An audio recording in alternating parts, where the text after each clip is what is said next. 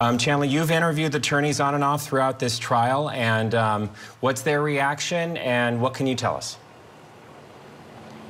Well, I could note their reaction in the courtroom. As soon as the verdicts ended, the jury left, Matt, they went right to work because they are in the courtroom now trying to hammer out the punitive phase jury instructions before the jury returns in just a few minutes to hear from witnesses from the plaintiffs as they try to prove up punitive damage or damages to punish the hospital for the counts of false imprisonment and battery that the jury found the hospital liable for against Maya Kowalski. And so inside the courtroom, I can tell you during the verdict that when the jury entered, I noticed a couple of the female jurors give a slight smile to the Kowalski family, Matt, which told me what we were about to hear, which was a sweeping victory for the Kowalski family. Once the first liable was read by the clerk of court, you could hear the sobs of the Kowalski family. Maya, her brother Kyle, her father, as they grabbed tissues, they comforted, comforted each other as the verdicts were being read and embracing one another. Kyle really broke down in the moment that the jury found the hospital liable for his mother Beata's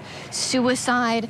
And it just poured in after, after the verdict as well. It, people in the gallery, the neighbors of the Kowalski family are in there, friends and family.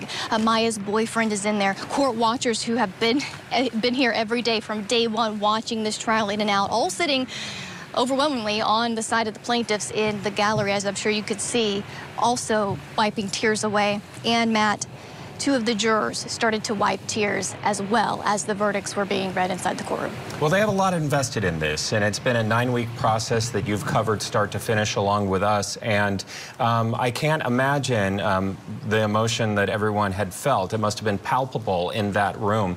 We also noticed, and from your reporting, that Maya brings items of her mother with her to court each and every day. Any idea what she was gripping in her hand?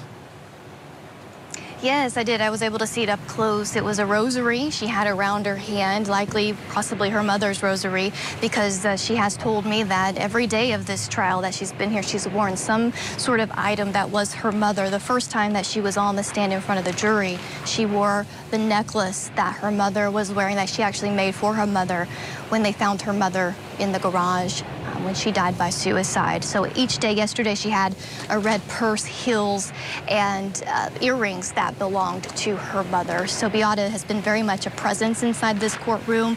You could see it on the jurors as well. I, I felt as though these jurors wanted to stand as they left and hug the Kowalski family. You could really sense that, as you said, palpable in the courtroom.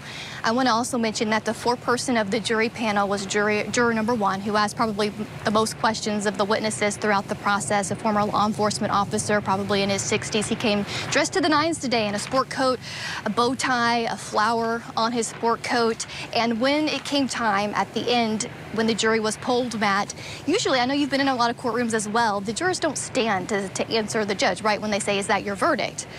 he immediately stood to attention and said, yes, this is my verdict. And since he said that, all the jurors would stand confidently and say, yes, they were, it was like they were proud of this verdict. Talk to us about Maya. Um, as we're looking at video of all of this, it seems like she has a whole lot of support from the community in that particular courtroom. And also, we were looking at those pictures that really went viral of her in different moments of high school, different mile markers and dances. Um, what does her future look like? Remind us of that. Uh, it, it appeared that maybe her boyfriend was in the courtroom today.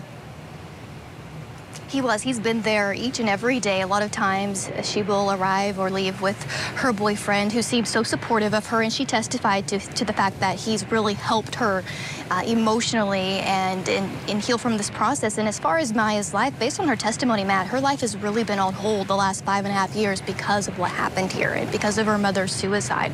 And she testified to the fact that she really can't move forward. She hasn't even taken the SATs as a senior in high school or applied to colleges because because this litigation has been hanging over her and her family for years now. And so with this huge verdict for them, and you could tell all over their body language as they wept and embraced each other that this is a moment for them to close in some way this chapter so that she can now move forward and the jury awarding her the means in which to do so, Matt. And remind us, you know, there was no talks about taking this um, litigation outside of the courtroom and settling. There was nothing like this for that family, right? That's right. That's a good point that you bring up. Uh, the attorneys for the hospital and the plaintiffs, they both confirmed to me that there was no offer or any really settlement talks over the last almost six years, which is a little incredible considering that happens a lot in civil litigation. But here, the hospital felt, based on what the lead attorney, Ethan Shapiro, has told me, that this was about principle for the hospital. They wanted to make sure that this trial was not a, did not have a chilling effect on mandatory reporters, those that worked at uh, John Hopkins All Children's Hospital and others who, when they suspect some type of child abuse, that they don't hesitate before reporting in case it legitimately is something serious. So that has what he told me yesterday has motivated him over the years and throughout this trial to make sure they stand up for that. They did so. The jury just didn't agree with their, their point of view on this. Well, we're going to have to let you get back in the courtroom because phase two is about to start. What are you watching for, Chanley, uh, before I let you go?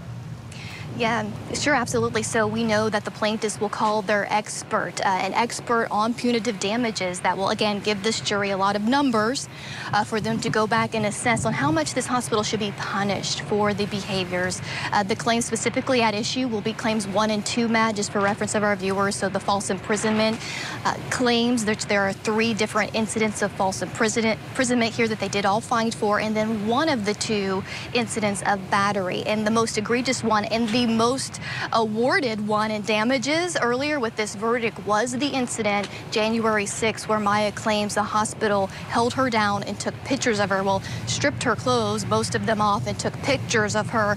That seemed to be the most egregious for this jury.